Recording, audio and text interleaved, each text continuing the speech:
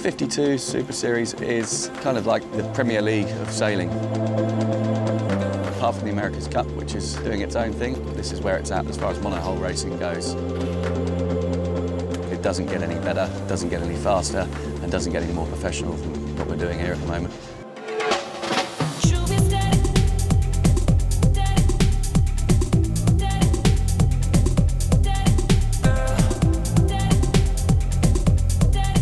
Competition format this year um, has run over five events through Europe and all races to count. So first place is one point and 10th 10 points and it's the one with the least points at the end of these five events wins the series. Boats are 52 feet, carbon fibre, weighing around 7,500 kilos, 13 crew on board. We can use any designer we like. You're given a, the dimensions. Within those dimensions you can do what you like with the boat and you can do pretty much what you like down below with the boat as far as the systems go and that's a lot of what we're looking at now, trying to gain seconds. You'll see in good waves and good wind, we'll hit sort of 20, 25 knots, you know, sitting at 20 knots quite happily downwind.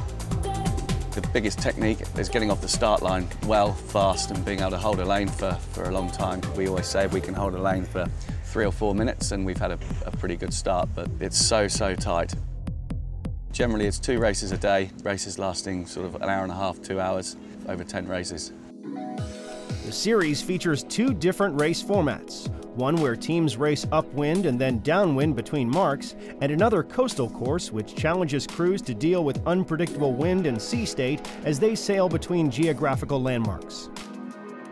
Both formats create a challenging race course with success dependent on each member of the crew performing under pressure in their own specific role.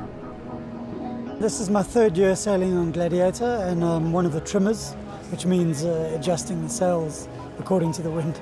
Well, I trim the upwind sails, uh, which are the jibs. It involves talking to the helmsman about angles that the boat is sailing into the wind. With the changing conditions, we had three or four jibs that, that could go up.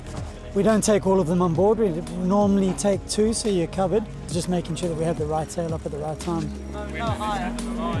There's two or three grinders on the boat and we effectively power the winches that help the sails go up and down. Pre-start, there's a lot of sails in and sails out, so you start off with five minutes of hard work, and then you go upwind where you're using your body weight to make the boat go as fast as possible, but then the fun comes at the windward mark where you hoist the spinnaker, blast downwind and drop the spinnaker. So it's a good mixture of sort of tactical looking around the race course, but also hard work on the downwinds. I'm the bowman on Gladiator. Uh, that's the guy who's really in charge of the front of the boat changing sails. You're the eyes for the front of the boat, eyes for the helmsman. Uh, we wear a harness too, so anything that goes wrong up the rig, that's our responsibility to get up there and fix things. And that's essentially it. The margin fair is really small out here. There's not much speed difference between the top and the bottom, so it really is making those incremental gains. I've been with the team for coming up to nine years, and my role in the team is to prepare, maintain, make sure the yacht's perfect for, uh, for each regatta. They're quite comparable in a, in a, sense to a Formula One car. You know, when a, a Formula One car finishes the Grand Prix it's just doing, uh, the guys strip it apart, make sure that nothing's broken, there's no wear, there's no tear, and it's the same for us. We strip the boat apart piece by piece, make sure everything's right. If you've had a good regatta, then, it, then it's quite easy. If you've had a tough regatta, then there's changes to be made and things get a little harder. Yeah, well, I've just you know taken the opportunity to come here to you know, Palma and uh, do an event with the Gladiator uh, 52 team. And so my role on the boat is to do the tactics, so kind of look after, you know, try and get the boat in a good spot at the start, and then try and look after where we put it on the on the course and you know what modes we sail. So put ourselves on the right side of the fleet, or the correct side of the fleet, and um, try and make our lives a bit easier than uh, and actually be at the front rather than uh, battling it out right at the back. Yeah, I think the calibre of the fleet here is you know, pretty high as well. So you know, if you make a mistake, you know, you really pay for it. Like any other sport, if you're not performing, then you're out, basically. But, you know, the performance side of it is always analysed.